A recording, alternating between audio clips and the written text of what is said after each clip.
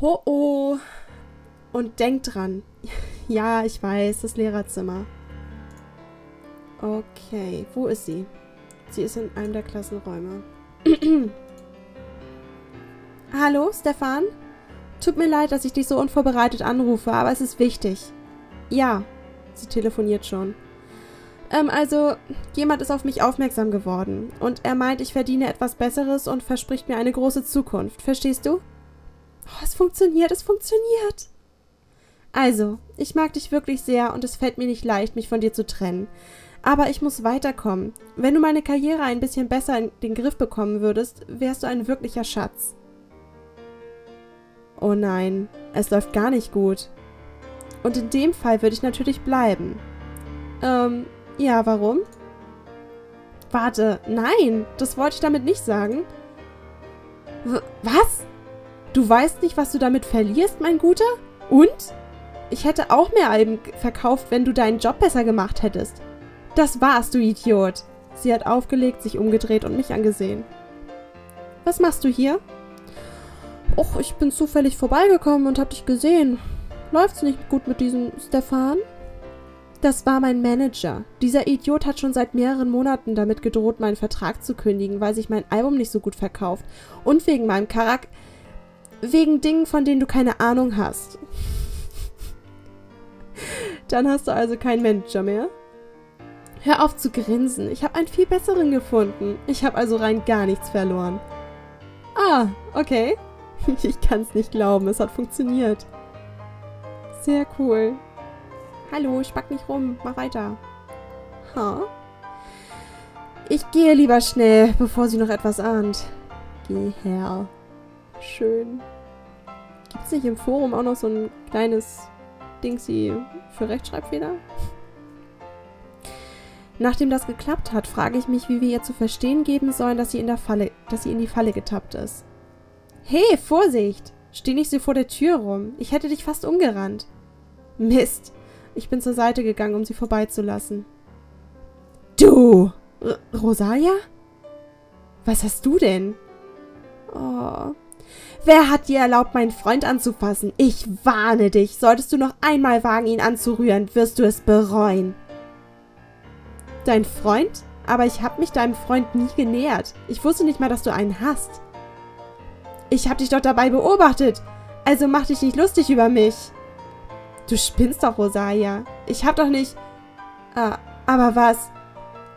Sie ist einen Schritt zurückgegangen und hat etwas hinter Rosalia angestarrt. Rosa, bitte, beruhige dich. Das wusste sie doch nicht. Sie... Sie kennen sie? Oh, langsam fängt sie an, alles zu verstehen. Natürlich kennen wir uns. Das ist mein Freund. Dein Freund ist Manager? Nein, er hat ein Modegeschäft. Was? Aber Sie haben mir doch gesagt, dass... Es tut mir leid, dass ich dich angelogen habe, aber laut meinen Freunden verdienst du eine kleine Lektion. Eine Lektion? Sofort hat sie sich zu mir herumgedreht.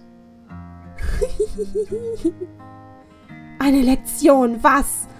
Oh, das riecht nach Ärger. Lauf! Die Tür vom Lehrerzimmer stand offen. Es war niemand dort. Endlich sind wir beiden allein. Deborah ist hereingekommen und hat die Tür hinter sich geschlossen. Und? Hast du dich gut unterhalten? Wegen dir habe ich einen Vertrag verloren. Weißt du eigentlich, was es bedeutet? Ich war nicht allein. Freu dich nicht zu früh. Selbst wenn ich meinen Manager verloren habe, finde ich bestimmt schnell einen neuen. Ihre Stimme zittert vor Wut. Wenn ich der Erste wegen der schlechten Verkaufszahlen nicht mehr wollte, würde ich auch kein anderer wollen. Aber jetzt habe ich Castiel. Die Lage hat sich also geändert. Bis jetzt hast du niemanden. Er hat sich schließlich auch noch nicht entschieden. Du blöde Flöze. Edge. Das ist nur eine Frage der Zeit. Dieser Idiot glaubt sowieso alles, was man ihm sagt, wenn man ihm dabei tief in die Augen schaut. Er ist schlimmer als all die anderen Trottel hier auf der Schule. Er wird mit mir kommen und mir mit seinem Talent und seinem Stil helfen, meine Karriere wieder auf Vordermann zu bringen. Und sobald das geschafft ist, brauche ich nur noch mal und sobald das geschafft ist, brauche ich nur noch mal das gleiche Theater zu spielen wie vorher. Das gleiche Theater? Du willst ihn dann wieder hängen lassen, oder was? Natürlich. Es ist schließlich nur Platz für einen Scheinwerferlicht. Also, Kleine, freu dich nicht zu früh. Die ganze Schule frisst mir aus der Hand und du und deine idiotischen Freunde werden mich bestimmt nicht davon abhalten. Ich habe nichts verloren und ich werde auch nicht verlieren. Du musstest mich aber nicht hier einsperren, um mir das zu sagen. Warum hast du mich verfolgt? Weil du meiner Meinung nach ein bisschen zu sehr auf deiner Sache beharrst. Seit ich dir meine Geschichte erzählt habe, versuchst du mich in die Falle zu locken und beinahe hättest du es geschafft. Wenn ich keinen Plan B gehabt hätte, sehe ich jetzt blöd da. Ich muss also sicher gehen, dass du dich nicht mehr gegen mich stellst. Und wie willst du das anstellen? Bisher musste ich noch nie auf das äußerste Mittel zurückgreifen. Aber du lässt mir keine andere Wahl. D das äußerste Mittel? Willst du mich etwas schlagen? Ups. jetzt, jetzt randaliere ich hier schon. oh Gott.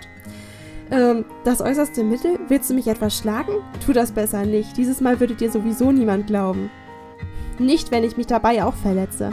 Ich werde sagen, dass ich mich nur verteidigt habe. Schließlich glauben alle, dass du mich schon einmal angegriffen hast. Sie hat sich mir genähert. B bleib stehen! Was ist das denn? Auf dem Schreibtisch hinter den Sesseln blinkte ein... Ein Ein? Auf dem Schreibtisch hinter den Sesseln blinkte ein kleines rotes Lämpchen, genau neben dem Mikro, das die Direktorin für ihre Lautsprecherdurchsagen verwendet. Das hatte Nathaniel also vor. Er hat den Lautsprecher im Lehrerzimmer eingeschaltet. Hm, nein! Sag mir, dass das nicht wahr ist! Das darf doch nicht wahr sein! Ich bin schnell geflüchtet. Ha, weg, weg, weg, weg. We have to run somewhere. Wo müssen wir denn jetzt hin? Hallo? Deborah hat nach meinem Arm gegriffen. Du Gemeines! Du wusstest davon! Lass mich los! Du tust mir weh! Wie konntest du es wagen? Sie hat ausgeholt, um mir eine Ohrfeige zu geben. Aber in dem Moment hat jemand nach ihrem Arm gegriffen und sie davon abgehalten. Castiel. Ein Idiot, was? Castiel. Wusste ich doch. Wusste ich doch. Du, du hast mich gehört, Castiel? Es ist nicht so, wie du denkst. Hahaha. Es hat noch gar nicht so. Es ist noch gar nicht so lange her, da hat Valkyria dasselbe gesagt. Aber sie hatte wenigstens einen Grund dafür, mich als Idioten zu beschimpfen. Dankeschön. Schön, dass du das einsiehst, mein Freund. Warte, das war nur ein Scherz. Sie hat sich so bemüht, mich als gemein darzustellen. Deshalb habe ich aus Spaß so getan, als wäre ich wirklich gemein. Du kleines, verlogenes Flittchen. Es reicht jetzt, Deborah. Wir haben alles gehört. Wir haben alles, alles gehört. Glaubst du wirklich, unsere Schule besteht nur aus Idioten? Aber natürlich nicht. Das war nur ein Scherz. Du weißt genau, wie sehr ich dich mag, Viola. Aber ihr werdet doch wohl nicht... Warum glaubt mir denn niemand? Nach allem, was wir zusammen erlebt haben, zweifelt ihr an mir, nur weil ich mir einen kleinen Scherz erlaubt habe? Ich habe aus einem sehr viel dümmeren Grund an Valkyria gezweifelt. Iris. Sie wirkt sehr traurig. Kästchen, bitte glaub mir. Mein Kätzchen. Ich glaube, es wird Zeit, dass du von hier verschwindest, Deborah. Und zwar endgültig. Seine Stimme ist so eisig, dass es mir kalt den Rücken runterläuft. No. Armes Biest. Puhu. Ich wollte doch nur... Was wolltest du nur? Ach, guck an. Jetzt, jetzt sind die Tränchen verschwunden. Jetzt merkt sie wahrscheinlich gerade, dass es keinen Sinn mehr hat. Ne? Also, was wolltest du nur? Es war nur ein Scherz. Ich. Uh, Bubu. Sie ist heulend weggelaufen und dieses Mal waren die Tränen echt. Alle Schüler hatten sich versammelt und hörten nicht auf, über Deborah zu sprechen. Ich habe nach Castiets Blick gesucht. Er hat mich traurig angesehen und ist gegangen. Ja, komm, ich gehe zu ihm. Wo bist du? Cassie? Castiel? In der Turnhalle wohl nicht. Castiel? Ah, Iris. Wie geht's? Das war sicher ein großer Schock für dich, oder? Oh ja. Jetzt lässt sich wenigstens niemand mehr von diesem Mädchen einwickeln. Das ist doch gut, oder? E ja, entschuldige mich. Ich glaube, ich habe etwas im Keller vergessen. Sie ist schnell weggegangen. In die entgegengesetzte Richtung des Kellers. Mist, ich dachte, jetzt würde alles gut, aber es sieht nicht so aus. Dabei wissen jetzt alle, dass ich nichts getan habe. Ach, Mano. Kann mir mal einer sagen, wo Castiel ist? Castiel. Hallo. Alles in Ordnung, Viola? Was für eine Geschichte, oder? Hm. Hey, ich heule deswegen nicht. Es ist gar nicht schlimm. Du wusstest schließlich nicht, was sie getan... Äh, pff. Du wusstest schließlich nicht, dass sie gemein ist. Ich, ich... Ist, ist losgelaufen. Ich habe das Gefühl, je weiter wir kommen, desto mehr Rechtschreibfehler sind hier in den Episoden. Sie ist losgelaufen, ohne noch irgendetwas zu sagen. Oh je, selbst Viola geht mir aus dem Weg. Ich verstehe gar nichts mehr. Was habe ich denn diesmal falsch gemacht? Es war zwar nicht so genial wie meine Nummer mit dem Wassereimer auf Debras Kopf, aber ich muss schon zugeben, das mit dem Lautsprecher war eine gute Idee. Danke. Hä? Seit wann macht Emma denn Komplimente? Kein Grund zu übertreiben. Ich sage das, weil mein Bruder mir erzählt hat, dass es eine... Äh, kein Grund zu übertreiben. Ich sage das, weil mein Bruder mir erzählt hat, dass es seine Idee war. Er ist ganz schön genial, wenn er will, nicht? Ich dachte schon. Hä? Ach so, das. Ich wollte gerade sagen, so teilweise war es ja Rosalias Idee, aber okay. Ah, Kim. Ich werde es diesmal anders versuchen und nicht von Deborah sprechen. Sag mal, hast du vielleicht Castier gesehen? Ich suche ihn schon eine ganze Weile. Ah, ähm, nein, ich habe ihn nicht gesehen. Schade. Oh. Ich... Ich habe noch etwas zu erledigen, sorry. Kein Problem. Sie ist weggegangen. Uh, ich fühle mich genauso mies wie heute Morgen, als ich hier in der Schule angekommen bin. Dabei müsste es eigentlich das Gegenteil sein. Ach, Mano. Das wäre geschafft, oder? Wenn du wüsstest, wie glücklich ich bin. Das kann ich mir vorstellen. Und, haben sich die anderen wenigstens entschuldigt, wie es sich gehört? Nein. Ehrlich gesagt habe ich das Gefühl, alle gehen mir aus dem Weg. Ich hätte gedacht, dass Iris, Viola und die anderen zu mir kommen, aber wenn ich ihnen über den Weg laufe, stammeln sie nur etwas vor sich hin und verschwinden. Wirklich? Vielleicht brauchen sie noch ein bisschen Zeit. Sie waren sehr gut mit Deborah befreundet. Oder aber es gibt ein ganz anderes Problem. Ich muss jetzt los. Ich habe etwas zu erledigen. Okay, bis später. Ich frage mich, was er wohl hatte. Dabei dachte ich, dass er mit mir reden wollte.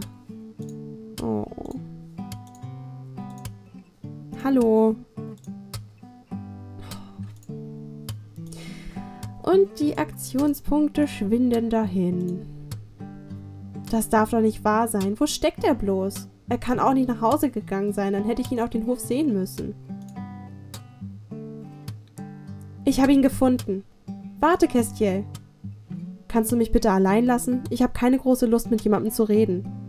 Aber du solltest jetzt nicht alleine sein. Im Gegenteil, genau das brauche ich jetzt. Er ist weitergegangen. Nö, ich lasse ihn nicht in Ruhe. Warte! Ich habe ihn umarmt, um ihn festzuhalten.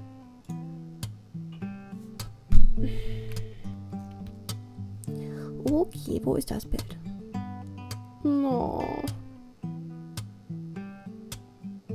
Ich glaube, dazu muss ich nichts sagen. Ich glaube, ich lasse es einfach mal an und wir genießen es ein paar Sekunden.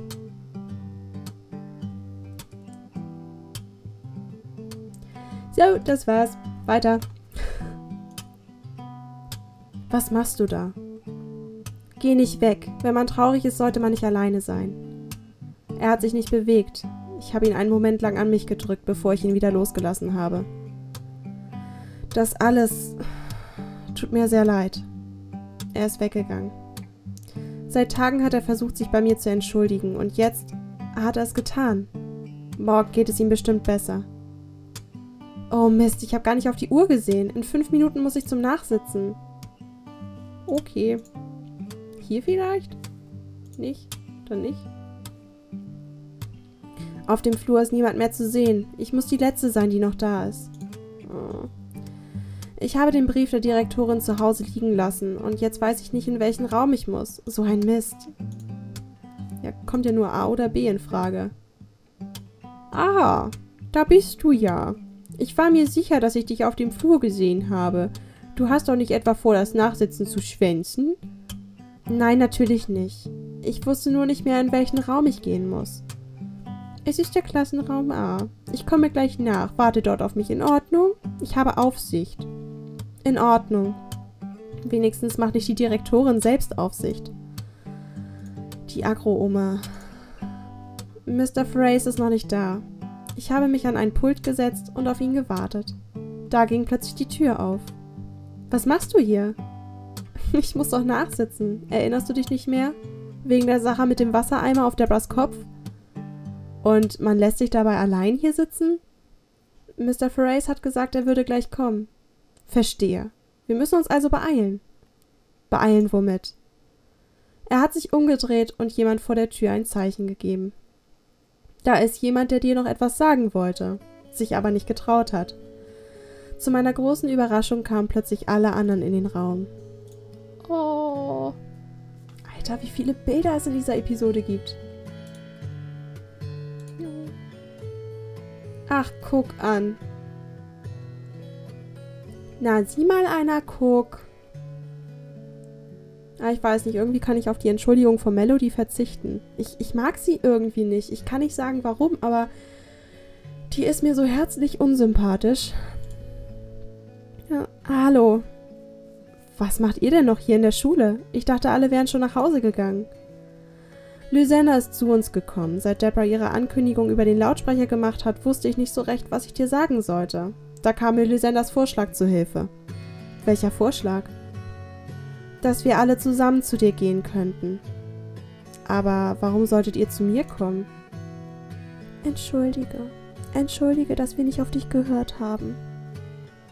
Äh, ist es das, was du eben versucht hast, mir zu sagen? Wir haben es alle versucht, nur es ist gar nicht so einfach, sich zu entschuldigen, wenn man alles falsch gemacht hat. Jetzt bin ich wirklich erleichtert.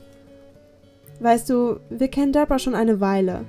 Das hätten wir nicht von ihr gedacht. Das ist zwar keine besonders gute Entschuldigung, aber die einzige, die wir haben. Keine Sorge. Lysenna und Rosalia haben mir das schon erklärt. Ich tue, was du willst, um das alles wieder gut zu machen. Hm. Nein, das ist doch nicht nötig. Dann bist du uns also nicht böse? Wenn ich daran denke, dass ich dich im Stich gelassen habe, obwohl du immer so nett bist, finde ich das schrecklich. Außerdem musst du ohne Grund nachsitzen. Nein, keine Sorge. Ich dachte sogar, ihr wärt mir noch immer böse und war gerade, boah, und war bis eben immer noch traurig darüber. Wirklich? Oh, Valkyria. Sie hat ihre Zeichenmappe fallen lassen und mich umarmt. Es war das erste Mal, dass sie so überschwänglich reagiert hat. Wir sollten verschwinden, bevor Mr. Frace auftaucht. Bis morgen, Valkyria. Bis morgen. Alle haben sich verabschiedet und sind gegangen. Kurz danach ist Mr. Fraze aufgetaucht und hat mir eine Sonderaufgabe gegeben. Aber nach dem überraschenden Besuch der anderen war das Nachsitzen gar nicht mehr so schlimm. Jetzt ist wirklich wieder alles in Ordnung. Oh Gott, wir sind mit Episode 17 durch. Ui, Episode beenden. Yay! Also ich muss sagen, dafür, dass ich mich äh, relativ ähm, gedrückt habe, davor diese Episode zu spielen, war sie gar nicht so schlimm. Ich fand die echt gut aufgebaut. Die war echt niedlich. Ähm, und es ist alles wieder gut. Es ist alles wieder gut. Wir sind wieder lieb Kind mit allen und wir haben, glaube ich, wirklich alle Bilder bekommen, die es in dieser Episode überhaupt gibt. Ein guter Schnitt, finde ich. Also, nicht schlecht. Schade finde ich nur ein bisschen, dass wir Lucille nicht benutzen durften. Die hätte ich gerne verwendet. Aber ja gut, es ist halt auch ohne Gewalt. Es hat auch ohne Gewalt funktioniert und ich glaube, äh, da sollten wir uns auch glücklich schätzen. Und ich glaube, ich muss tatsächlich einen ausgeben, denn wir haben 444 Aktionspunkte gebraucht. Ganz genau. Also ich, ich muss einen ausgeben. Ich weiß noch nicht, was ich mache. Kriegen wir schon irgendwie hin. Und wir haben insgesamt 135 Dollar verbraucht. Also einmal 100 für das Outfit und 35 für die Knabbereien, Kekse und so weiter und so fort. So, ich glaube, damit sind wir durch. Das Schlimmste haben wir soweit geschafft. Und dann gucken wir mal, wie es in der nächsten Episode weitergeht, wenn sich das Ganze ein bisschen beruhigt hat. Dann wünsche ich euch noch einen schönen Abend und äh, dann sehen wir uns beim nächsten Mal. Bis dahin. Ciao.